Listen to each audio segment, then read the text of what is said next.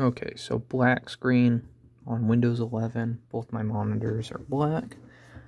What you're going to want to do first is leave the computer for like an hour because actually this is usually caused by a Windows update. It's just not showing the blue screen of it spinning. Um, but if that doesn't fix it, do Control Alt Delete.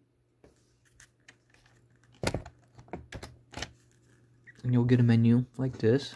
Go to Task Manager run new process, do explorer.exe. Now, if you do Control Alt Delete and it doesn't do anything, go ahead and hard reset your computer.